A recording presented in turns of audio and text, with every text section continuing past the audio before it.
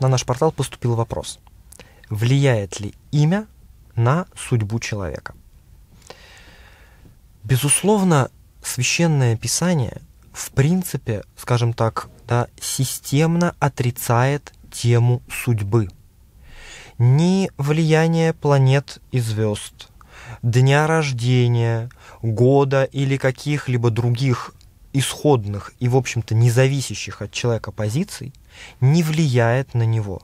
Более того, судьбы не существует даже как некоего исключительно системно предписанного Богом, э, скажем так, графика прохождения человеком его собственной жизни.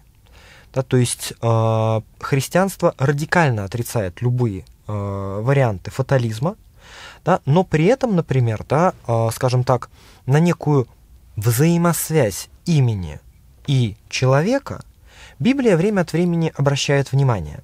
Но здесь нам нужно э, сразу правильно поставить акцент, как она это делает. Ну, например, мы видим, что в Ветхом Завете Бог э, меняет имя Аврааму и Саре. Да? Авраам становится Авраам. Также и Сара становится Сарой. Но тем самым Бог не изменением имени меняет некую их судьбу, а скорее подчеркивает, что через личный выбор этих праведников изменится и сам тип их жизни – то есть не Бог ведет их как марионеток, а предлагает им некие решения, да, и этой сменой имени подчеркивает да, реальность происходящих в них изменений.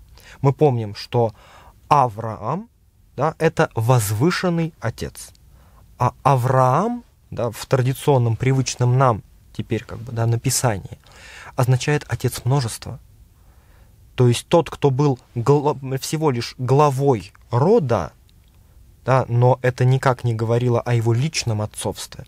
Через вхождение в завет с Богом, через принятие воли Божьей, через содействие Богу в мире становится отцом многих народов.